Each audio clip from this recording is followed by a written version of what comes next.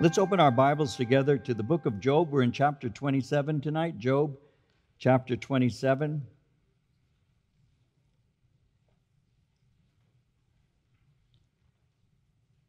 We are taking an interest sign up for those who are watching online right now. This may be of interest to you and to those who are here even now.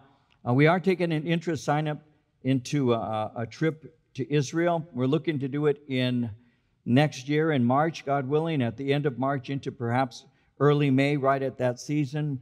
We're working on costs and all of that. And uh, there are quite a number of people who just last week uh, signed up with interest. Perhaps you have never been to Israel.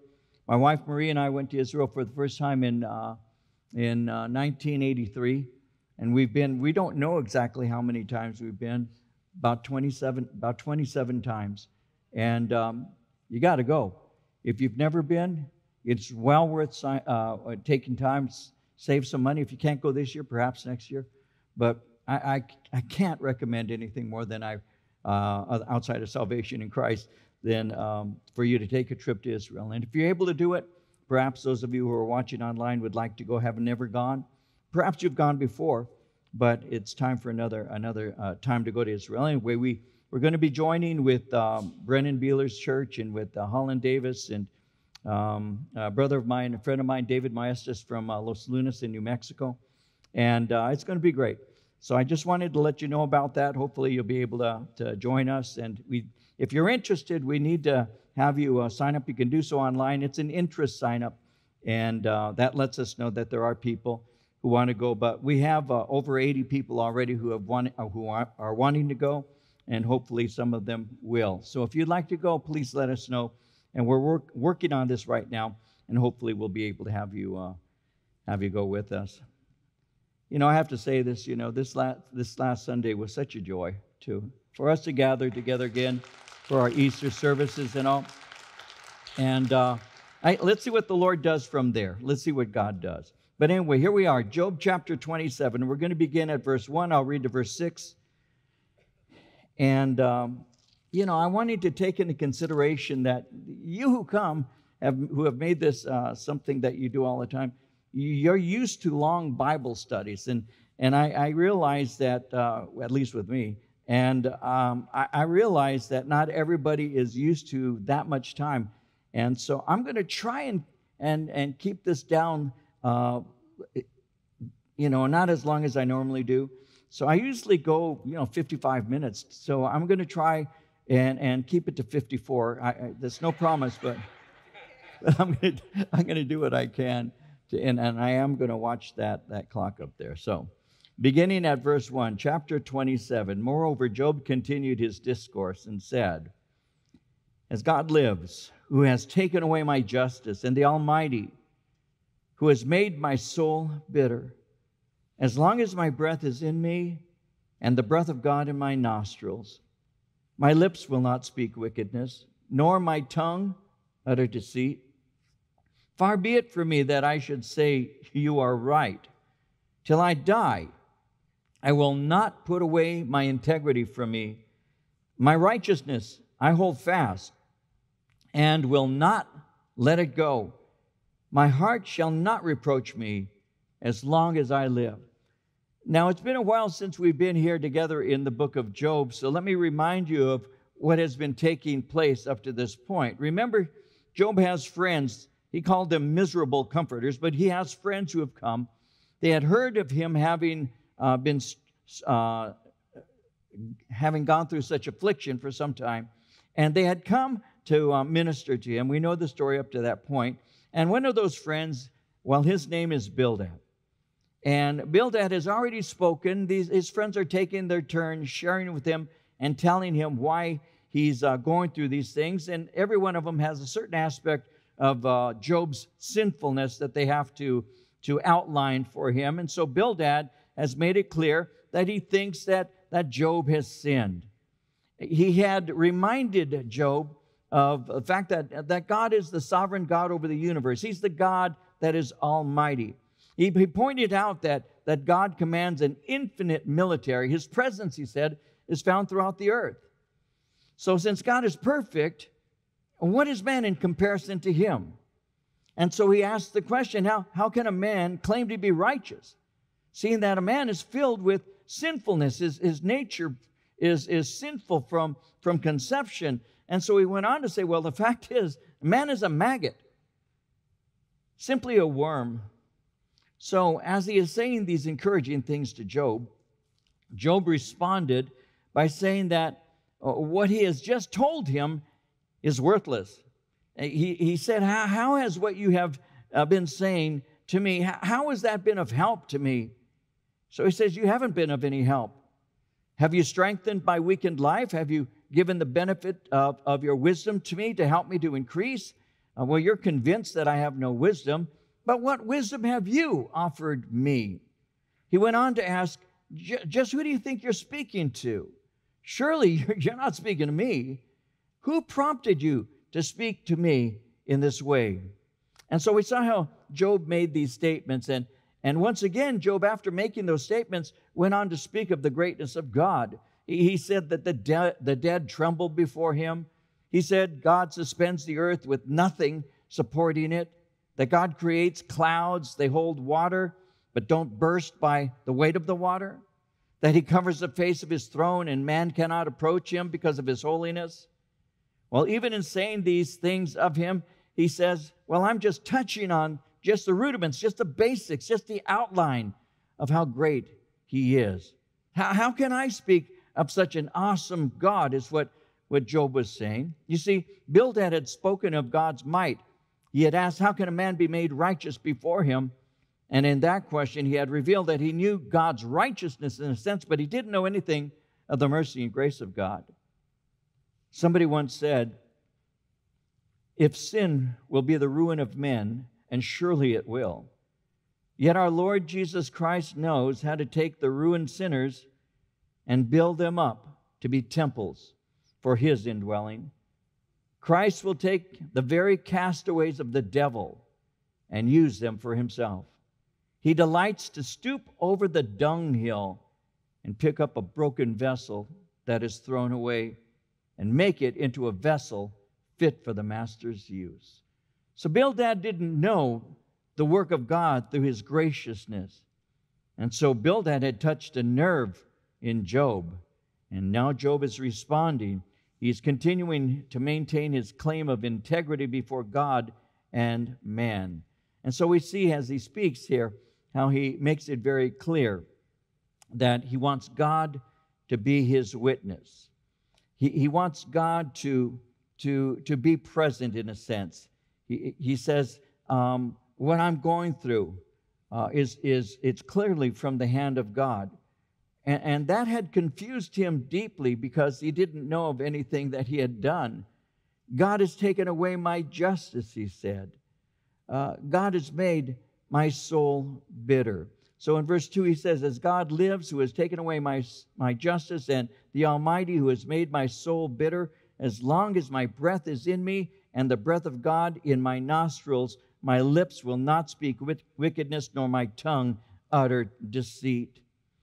God has, has taken away, notice, has taken away my justice and also has made my soul bitter. When he says God has taken away, taken away my justice. The words taken away speaks of God denying or withholding justice. In other words, he's saying, God is treating me as if I am guilty. I'm suffering, but God hasn't helped me to understand why. Why is this happening? He won't explain his actions to me. He's left me wondering, what have I done wrong?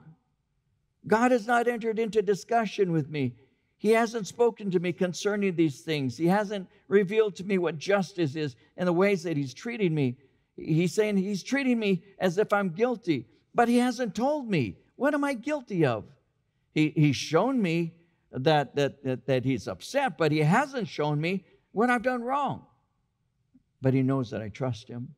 I've begged Him to reveal why this is happening, but He's silent. He hasn't revealed to me what I've done to offend him. And so the result in verse 2 is He's made my soul bitter. Bitterness is often defined as anger and disappointment at being treated unfairly. He's made my soul bitter. I'm, I'm, I'm angry. I'm disappointed. I've been treated unfairly. You see, Job had already made it clear that he was in misery, and he even spoke openly about it in Job chapter 7, verse 11. We saw this when he said, Therefore, I will not keep silent. I will speak out in the anguish of my spirit. I will complain in the bitterness of my soul. So, bitterness. Bitterness is being settled on the injustice of something and not letting it go. How do you deal with bitterness? A lot of people are bitter. People become bitter. Well, how do you deal with this bitterness, even though he's saying he's bitter? Well, it can be overcome when we relinquish to God what is out of our own control, when you let it go. In Hebrews 12, 14, and 15, the writer said, Make every effort to live in peace with everyone and to be holy. Without holiness, no one will see the Lord.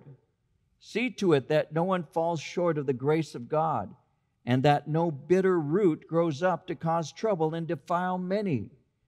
So, in order to keep from becoming bitter, which is so easy to do, we need to cast our cares on the Lord, and we need to not judge Him as being unjust to us.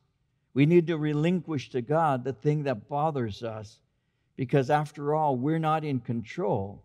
And so we have to yield those things we have no control over to the one who is in control. You see, at this point, Job is bitter because he hasn't heard from God, he hasn't had an answer in any way. But in the midst of all of that, we need to remember one thing he still trusts the Lord. Earlier in chapter 13, verse 15, he, he made it clear. He said, Though he slay me, yet will I trust him. Even so, I will defend my own ways before him. I can die, but I still trust him no matter what. I'm going to hold fast to him. And so, as God lives, who has taken away my justice, the Almighty, who has made my soul bitter, verse 3 as long as my breath is in me and the breath of God in my nostrils, my lips will not speak wickedness, nor my tongue utter deceit.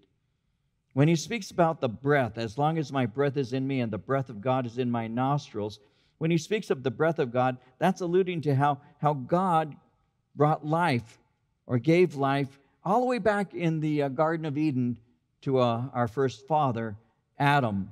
In the book of Genesis, in chapter 2, verse 7, the Bible says, The Lord God formed man of the dust of the ground and breathed into his nostrils the breath of life, and man became a living being and breathed into his nostrils. And so Job is referring to that, that he's unaware that Adam was created, that God breathed life into him. Adam, you can imagine the first man, the first man created by God, God being a master at all things. Can you imagine? Can you imagine what an amazing specimen of humanity Adam was? I mean, for just a moment, think of how perfect he is. And if you can't envision that, just think of me. Now, think about And so he was created, formed from the dust, and you can see this lifeless human body formed from the very, very dust. From dust he came. God formed him, God created him. And the Bible says that God breathed into his nostrils the breath of life. And when I was doing a study in Genesis many years ago now, I was really impressed by one of the authors or commentators who pointed out that the fact that, that God breathed into Adam the, the, the breath of life, he said it's more than just a picture of breath. He said it's a picture of, of, a, of an intimacy of God with his creation, that God actually breathed into him. And one of the commentators that I've used in the past said it's a picture of God kissing life into Adam. It was an intimacy. And Job is referring to the reality of the fact that I have breath within me, that, that breath that comes from God Himself. My life is, is, is from God. And, and because of this, uh, I, I, as long as I'm alive, he says in verse 4, I won't speak wickedness, nor my, my tongue utter deceit. So, as he's saying that, I'm aware of who I am. I'm aware of the relationship I have with God. I'm aware of how God breathed life into Adam, and God has given me the breath of life also. And because of that, I'm not going to speak wickedness. I'm not going to utter deceit. And, and that would be to inform his friends that he, he isn't what they think he is. I'm not speaking in favor of wickedness, he's saying, nor am I lying to cover up my sin. I'm not pretending that I'm righteous. I'm not a hypocrite. I'm not, I'm not claiming that at all. He says in verse 4, he says, uh, nor my tongue utter deceit. I, I can't confess to a guilt that I don't truly possess. I didn't do it. I didn't do these things. Why are you trying to make me confess to something that I'm not guilty of? So my, my lips will not speak wickedness. My tongue will not utter deceit. I'm not going to lie and say that I did something that I didn't do. Verse 5 Far be it from me that I should say you're right. Till I die, I will not put away my integrity from me. I'm not going to say that you've been right all along. I'm not going to confess to a sin that I haven't committed just to please you. I'm going to continue maintaining my innocence. I, I, I, know that I'm a sinner, but I have not done what you continue to accuse me of. In verse 6, my righteousness I hold fast and will not let it go. My heart shall not reproach me as long as I live. I'm going to hold on to my knowledge that I have lived to the best of my ability uprightly before my God. I've lost everything. I've lost everything that I've ever valued. E- everything that meant something is now gone. I lost my children. I lost the love and respect of my wife. I lost my possessions. I lost my health. I lost my dignity. I lost my standing in the community. I lost everything. But I'm not going to let go of my sense that I have lived in integrity. In spite of all these losses, I have one thing I will hold on to. I'm right before God. I will hold fast to my integrity.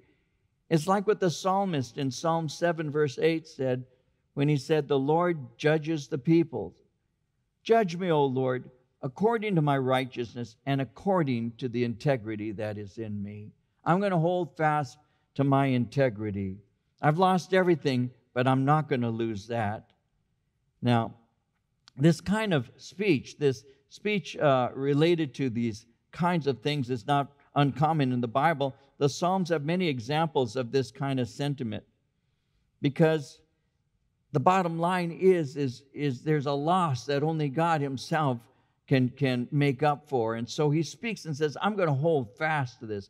And then as he does so, he goes on in verse 7 and he says, May my enemy be like the wicked, and he who rises up against me like the unrighteous. Well, interestingly enough, he begins to speak with intensity here. His, his tone is changing, and he's calling down, if you will, curses upon his enemies. Instead of being like the wicked, Job makes it clear that they have nothing in common with him. And so, this kind of speech that we're seeing right now, when he says, May my enemy be like the wicked, and he who rises up against me like the unrighteous, and he begins to speak in this way, this is kind of a, uh, this kind of speech is, is not uncommon. In Psalm 3, verse 7, for example, the psalmist said, Arise, O Lord, save me, O my God. For you have struck all my enemies on the cheekbone. You have broken the teeth of the ungodly. Have you ever wanted to pray like that? Break their teeth, O God, in Jesus' name.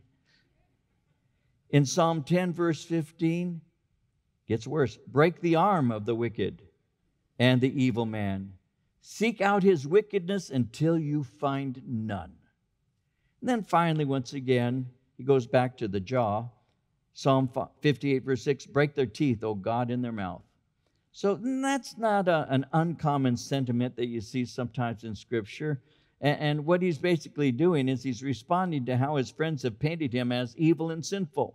So he's distancing himself from those kinds of thoughts. He's saying, I don't love wickedness. I even hate the thought of it. And he goes on in verse 8 What is the hope of the hypocrite? though he may gain much if God takes away his life. So he continues and he says, What is the hope of the hypocrite? A hypocrite, in, in the Greek language, the word hypocrite speaks of an actor. Uh, it's an actor who would put on a mask to appear other than what he actually is. And so he's speaking of hypocrisy. What's the hope of the one who's an actor? Who pretends to be one thing when in fact he's entirely different than that. And especially, it's especially repugnant when that person is pretending to be righteous. Uh, C.S. Lewis once said, Of all bad men, religious bad men are the worst. And so he's speaking of hypocrisy. And, and Job is saying, I'm not. I'm not a hypocrite. There's no reason that I should envy them or desire what they have. And, and even if they were to gain much, they never really enjoy it. They eventually leave it or they're going to lose it. And so that's the point that he's making. Though he may gain much, well, what's he going to gain really if God takes away his life? What do you really gain? You see, eventually God takes away his life. He dies, in other words. And as he dies, God judges him. And after his judgment, because he had a relationship with God, he enters into eternity as one who has lost everything. One of my favorite portions of scripture that illustrates this comes out of the lips of Jesus in the Gospel of Luke, chapter 12, verses 15 through 20, when Jesus is speaking and he says, Take care, be on your guard against all covetousness, for one's life does not consist in the abundance of his possessions. And he told them a parable, saying, The land of a rich man produced plentifully. And he thought to himself, What shall I do? For I have nowhere to store my crops. He said, I'll do this. I'll tear down my barns, build larger ones, and there I will store all my grain and my goods. And I'll say to my soul, Soul, you have ample goods laid up for many years. Relax, eat, drink, be merry. But God said to him, Fool, this night your soul is required of you and the things you have prepared, whose will they be? All that work that you did, all those years of scrimping and saving and putting things away, looking for that day that you're going to finally uh, be able to start spending those things on the pleasures that you have you've denied yourself and now finally can can enjoy. Uh, well, the fact is, Jesus said, is you worked so hard to put all these things away, and, and yet the one thing you didn't prepare for was eternity.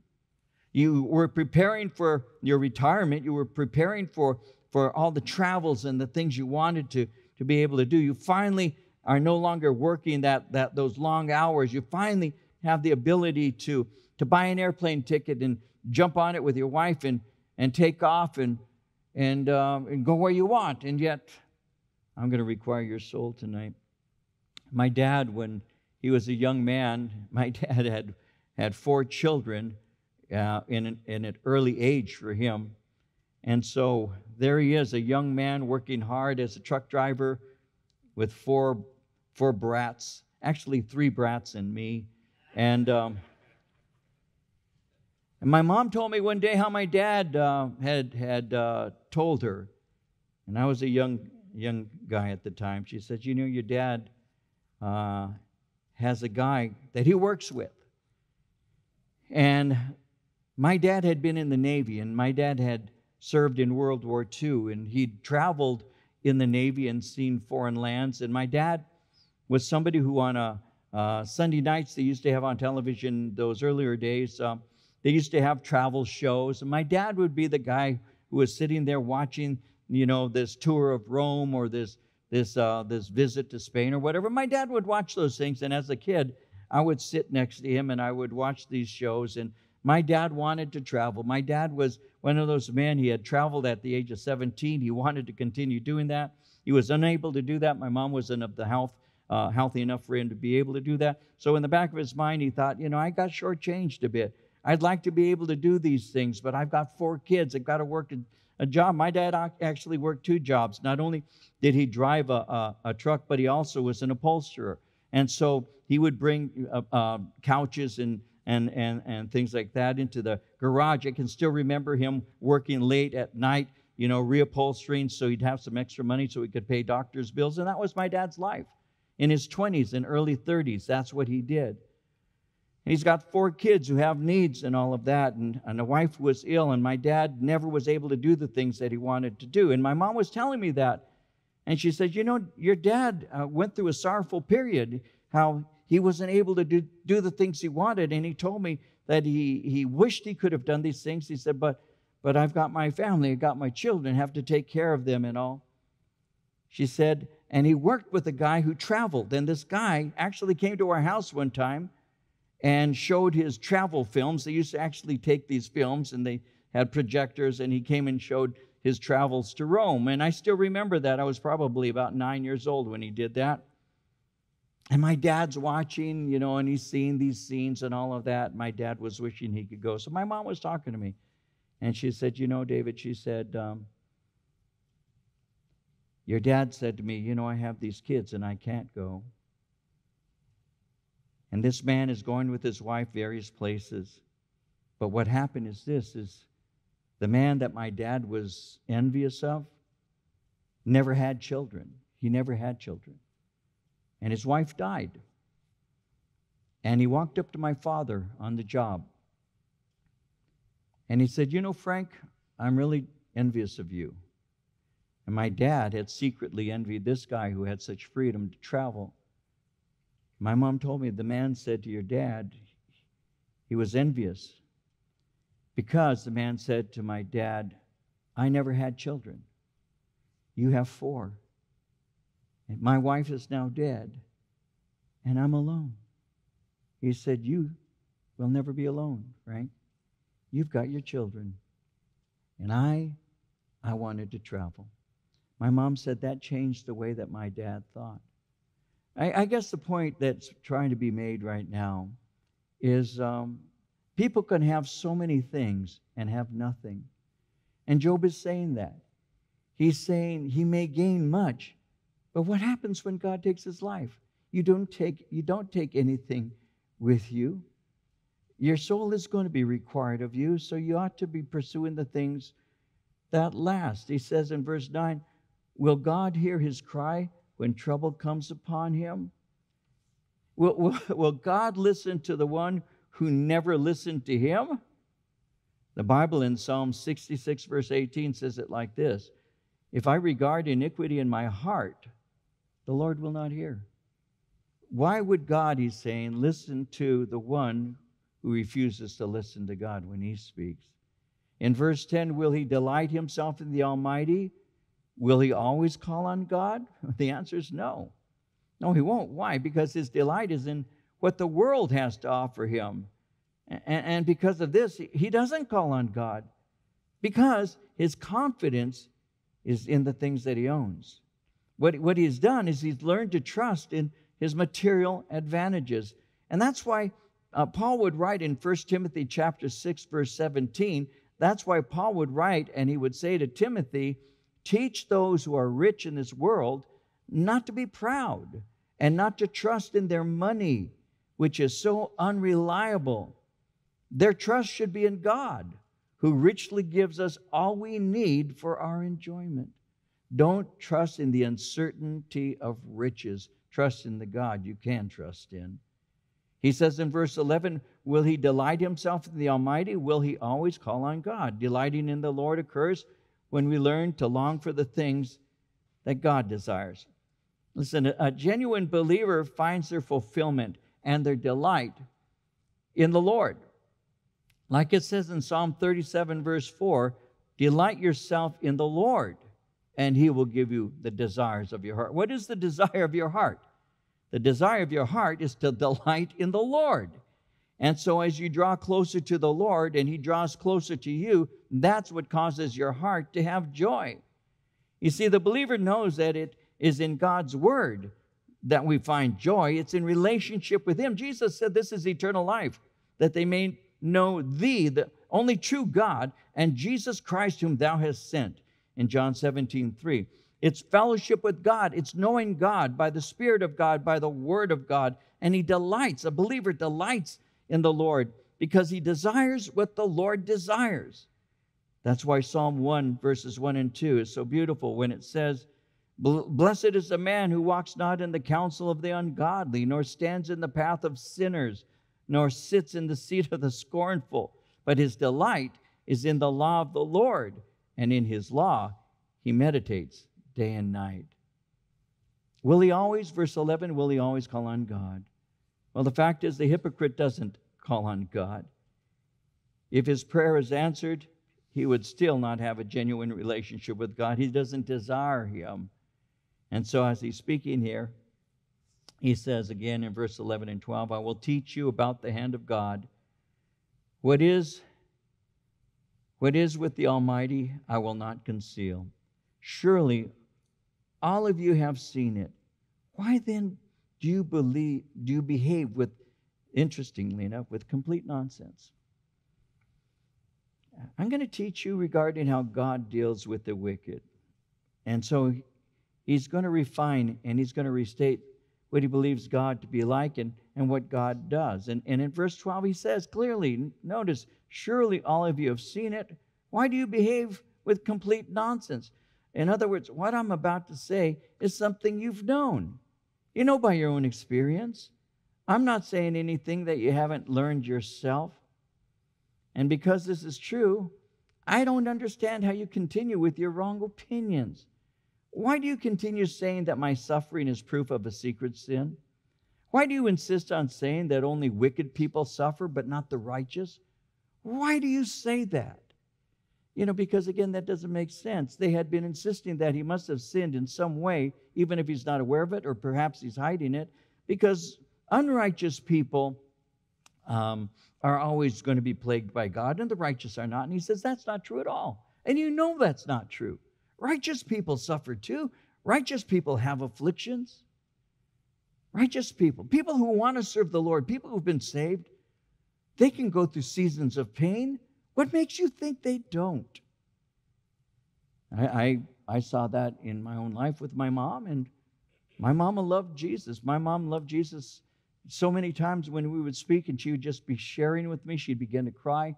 And, and I can still remember as she cried, it wasn't because of her pain, it was is her love for the Lord. She just would open up and she had a real open love for Christ. And, and she'd tell me how good God had been to her, and, and her eyes would fill with tears. I believe I got a lot of who I am from that with my mom. That's how my mom would communicate. She'd share her heart with me. And yet my mama was sick all the time. My mom was sick for years. My mom was sick from the time she was four years, uh, 20, 20 years old until she, 24 years old until she was she died at 83. My mom was not well at all from all those years. Various diseases, various things she dealt with crippling rheumatoid arthritis, lupus, epilepsy, one thing after another. My mama loved Jesus. And that's why, that's why it's always bothered me when people say, well, must have had a lack of faith. No, that's, that's not Bible, for one thing, and it's certainly not charitable on the other. But he's saying, Why do you continue insisting that I've sinned? Why? Why do you say it's only the wicked who, who suffer, but not the righteous? He says in verse 12, Surely you have seen that the wicked can be afflicted. I just don't understand why you insist on condemning me as being wicked. In verse 13, this is the portion of a wicked man with God and the heritage of oppressors received from the Almighty. In this word, he actually is repeating something that was said by one of his, his friends, Zophar, in chapter 20 at verse 29. He's actually quoting him, and he's saying, uh, This is what the wicked have in store for them. Verse 14 If his children are multiplied, it's for the sword, and his offspring shall not be satisfied with bread. So he says, if the children are multiplied, remember in the ancient world, children, a fruitful womb, was regarded as gifts from God. Many children were regarded, if you had many children, it was regarded uh, as quite a blessing. Lots of kids. My grandmother on my father's side, my dad's mama, my grandmother had 13 children. 13 children. Twelve of them survived childhood. An uncle of mine died when he was a little boy. Out of those 12, when I did my when I went to my grandmother's funeral at the age of 92, and they showed they have those uh, papers that tell you about how many sons and daughters and you know and and grandchildren. My grandmother, when she died at 92, out of the 12 living children she had, had 118 great and great great grandchildren. That's a lot of brats. And I have so, I had so many cousins I don't know. Hundreds of cousins. I did a funeral for my uncle. His name was Ray. And I did a funeral for my family. In my family, these were blood relatives who had come to, to uh, celebrate my uncle's life. And there were 150 to 200 people who were there who were my direct relatives. I have a lot. Of, we're taking over California ourselves. And that was years ago. And so in the older days, many children were looked at as being a heritage of the Lord. The fruit of the womb was his reward. And so when he speaks concerning this, and he's speaking concerning the uh, amount of children and all of that, he, he's making it clear that though they are a heritage, um, and though the greater amount of children, the greater the blessing, the fact is, even when the wicked have many children, often there still is tragedy. He, he's making it clear. They may die at the hand of enemy forces, they may die in a variety of tragic ways. Verse 14, the second portion, his offspring shall not be satisfied with bread. They may die, but they also may go hungry. If they somehow escape uh, the experience of dying, um, they still can fall into poverty, is the point he's making. Being poor, well, there'll be no one to relieve them of their misery, and they can suffer. In verse 15, he continues Those who survive him shall be buried in death, and their widows shall not weep. Interesting way to put it. Those who survive the sword, will say, the famine, well, they can die. They can die of disease. When it says buried in death, in death is often a word that is being used to speak of a plague. They can die in disease. And they're not going to have any friends who will bury them. Their bodies will remain unburied. He says in verse 15, their widows shall not weep. In other words, no one will lament or sorrow for them when they die. There's not going to be a funeral procession. There will be none to weep over their death. When he says widows, it's a hint that the man he's speaking of has many wives. And that often was the case with the rich. Many wives, again, was a symbol of status. But none of them will weep at his death. A very great omission in the eyes of Middle Easterners would be that nobody wept for them when they died. Verse 16 Though he heaps up silver like dust and piles up clothing like clay, he may pile it up, but the just will wear it, and the innocent will divide the silver. And so he, he says, uh, he uses these phrases as a picture of, of abundance. Remember the Solomon, King Solomon. Solomon was described in, in a similar way. In Second Chronicles 1:15, it says that the king, speaking of Solomon, made silver and gold as common in Jerusalem as stones. Cedar, a very expensive wood, as plentiful as a sycamore fig tree in the foothills. So the wealth that he has is abundant. Even today, wealth is demonstrated by quantities of furniture and quantities of clothing. There was a desire to display wealth openly during that day, so clothing became very important. And because they had so much, the value of the things, the personal value that they placed in those things, actually were diminished because they had so much. So he says in verse 17, He may pile it up, but the just will wear it. The innocent will divide the silver. And so he speaks concerning the fact that he's going to leave it all behind. In Ecclesiastes, in chapter 2, verse 26, Solomon said, God gives wisdom, knowledge, and joy to those who please him. But if a sinner becomes wealthy, God takes the wealth away and gives it to those who please Him. This too is meaningless. It's like chasing the wind. In Proverbs 23, verse 5, cast but a glance at riches, they're gone, for they will surely sprout wings and fly off to the sky like an eagle. So he may pile it up, but somebody else is going to get it. In verse 18, interesting, he builds his house like a moth, like a booth which a watchman makes. Um, an evil man attempts to build a lasting home, a lasting family, but it's like a moth trying to build a lasting monument to itself. That home is as temporary as his cocoon. He can't make anything that lasts. In verse 19, the rich man will lie down but not be gathered up. He opens his eyes, he's no more. Like all men, rich men will die. And I remember hearing about this rich man who died, and they had this big funeral procession, and someone was overheard to say, Wow, he really knew how to live. And that never made much sense to me. The guy was dead. He was being hauled off to be put in, a, in, a, in, in, the, in the dirt. Because the fact is, how does the rich man die even as the poor? Everybody dies, is the point he's making. But the thing is, he's not going to be uh, gathered up for burial. His carcass, he says, is going to lie openly upon the earth. Notice in verse 19, he opens his eyes and he's no more. When it says he opens his eyes and he's no more, it's a picture of dying suddenly. He never made full use of his wealth. In just a moment, he's gone and his life is concluded. You know, um, there's a, there's a fellow Bezos. His name is Bezos. We all know his name. I think if you don't know his name, he's the richest man in the world. I forget how much money he supposedly has.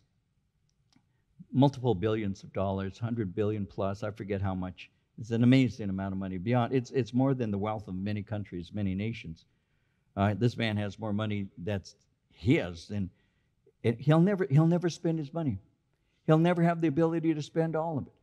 And, and um, I'll help him, but he doesn't call me. But he'll never, he, he'll never spend all his money. He can't. If he spent a million dollars a day, he, he couldn't live long enough to spend the hundred and some billions that he has. He can never, he can never spend his money. In the investments that he has, when he gathers interest in the things that he has in investment, he, he, can't even, he can't even spend the interest he makes on his wealth. If he dropped $100 billion on the ground, which you can't do, it's too heavy, but it wouldn't be very long until that money was made up. It, it's just, it's, it's beyond me. It, he, he's a guy who can walk into any car lot, you name it, what's your favorite car? What would you love to have? A Ferrari? He can go and buy the factory, the Ferrari factory, and have all of those Ferraris and still have lots of money left over. I, it's just beyond me. And so the point is, is that a rich man, a rich man can have so many, so much money accumulated, but he can't buy the things that matter. He, he, he can't buy peace. He, he cannot buy hope. You can't go to the store and ask for $100 worth of love. You can't do that. Those are the intangibles. Those are the things that money really has no ability to buy. You can't buy peace. You can't buy any of those things that actually matter. You can't. And so this man accumulated all of this wealth, but he leaves all of that behind. And so be aware of that. Uh, seek those things that, like Jesus said, uh, lay your treasures up in heaven. A moth cannot uh, destroy, rust will not corrupt. Lay your treasures in heaven uh, have eternal treasures because what we have right now, well, it's like it says, chasing the wind. He's going to die suddenly. He says in verse 20, terrors overtake him like a flood. A tempest steals him away in the night. He doesn't die in peace. His death is quick, it's even unexpected. In verse 21, the east wind carries him away, he's gone. It sweeps him out of his place. It hurls against him and does not spare. He flees desperately from its power. Men shall clap their hands at him and shall hiss him out of his place. And so it says the east wind. The east wind is a picture of swift, violent judgment. The east wind takes them away violently, it sweeps them away from the earth, is the picture. And the result, verse 23 men clap their hands at him, they hiss him out of his place. In other words, people rejoice when he is no longer alive. Instead of weeping, they deride his death. They're happy that he's dead. Now, as I was reading this, and I'll close with a couple of thoughts. There was a guy, some of you are aware of him. If you went to school or perhaps you're a reader, you remember him. He was called Voltaire. Voltaire is a, this is a quote, a very French, very famous French infidel. He was a denier of God. And uh, he was very brilliant. And he wrote a lot of, of pamphlets and, and, and books and things attacking Christianity. That's what he did. Voltaire did that. And he used all of his intellectual and writing skills to attack Christianity. This is a quote from Voltaire. He said, My single hand shall destroy the edifice it took 12 apostles to rear. My single hand will destroy Christianity. That was his goal. And what happened, and I have a book that uh, gives the last sayings, it's called The Last Sayings of Saints and Sinners. And when Voltaire died, there was someone present who was writing down what he was saying as he died. And he had a physician who was there who was writing these things down. And this is what Voltaire's last words were. Voltaire said, I am abandoned by God and man. And he spoke to the physician. He said, I will give you half of what I am worth if you will give me six months' life. Then I shall go to hell. And you will go with me. And his last words that the physician wrote, O Christ, O Jesus Christ. And shortly after he died, the house he used to print his literature in became the depot of the Geneva Bible Society. So he said, With my, my pen, I'll destroy Christianity. And in the end, the house that he used to occupy while he was printing out all of his, all of his antichrist things became a place where they stored Bibles. So you can contrast the way he died with the way believers die in Scripture, when, when the day of Pentecost came, God brought into life the church. It's found in the book of Acts, chapter 2. And from chapter 2, 3, 4, 5, 6, 7, you see the progress of the work of the Lord. By the time you get into chapter 8, the, the church has been making a lot of inroads. Many people are coming to faith in Christ, and disciples, the apostles, are now uh, being arrested. At one point in chapter 6 of the book of Acts, there was a, a problem that takes place, and that is that the, the Jewish, Jewish um, uh, culturally Jewish uh, widows were being taken care of in what was called a fund for the widows, but the Greek speaking Jews who um, were disdained by the Hebrew speaking Jews, the Greek speaking widows, were being neglected, and it created a tremendous problem. And so they brought the problem to the apostles, and they said that there's, there's a uh, injustice taking place. You know, the Hebrews are getting cared for, the Greek speakers, cultural Greeks are, are not, though they're Jewish and believers, they're still being neglected. And what happened is they had to put together uh, the first deacons. And so uh, several men were appointed to take care of the affairs of the church. You see that all in Acts chapter 6. One of the men who was given the responsibility to oversee the church in that way was a man named Stephen. Now, Stephen and the rest of uh, many of the believers were arrested and were taken to be given a trial in front of the religious leaders of Israel. And the, Stephen stood up to give a defense for the faith. And as he did so, Stephen began to outline the history of Israel. And as he began to share the history of Israel, he shared with them that God had given prophets. He spoke of Moses. He gave all of that. And then ultimately, he, he says to them, um, You guys have been stiff necked and rejected the things of God all along. And because you have done so, he says, uh, You've even rejected the Messiah whom he sent. And when he said that, the Bible says that they gnashed with their teeth and they, they sat upon him. And when they did so, they took him and they stoned him to death as a blasphemer. And when they put him to death for the things that he had said, his last words were, Lord, do not charge them with this sin. And then that portion closes with the words, when he had said this, he fell asleep. When you contrast the death of the wicked with the death of the saint, with the death of the believer, Job is saying that those who don't know the Lord, they may be rich on earth and they may obtain great prestige and honor and finances and they may have all of those things, but what they don't have is peace with God. And he's saying, I have that. I've held on to my integrity. I haven't denied him. Even though I don't understand him, I'm not like them. Why do you keep judging me in this way? He said, Because the way that the, the, the unrighteous die is always going to be different than the way the righteous die. I've attended the, the death of more than one person in my ministry life, and I can tell you there's truth to that.